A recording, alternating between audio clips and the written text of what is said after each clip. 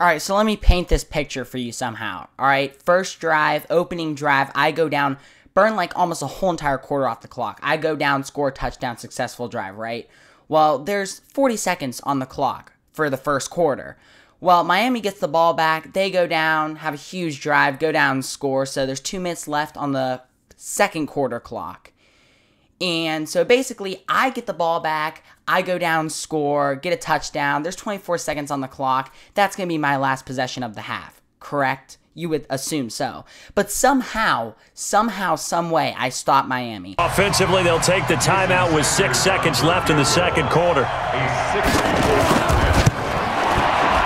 Bruh. And this kick is not going to be close. It's well short, well right to boot. And this score will... I don't know how the timeouts were called correctly. I stopped Miami. There's barely any time on the clock. I just yeet it up with a fly route to James Washington in the end zone, touchdown at the buzzer, and then that took me into overtime, and that's a big part of why I won that game. Mission For him here as they come up first and 10, right at the 50-yard line. Roethlisberger will throw.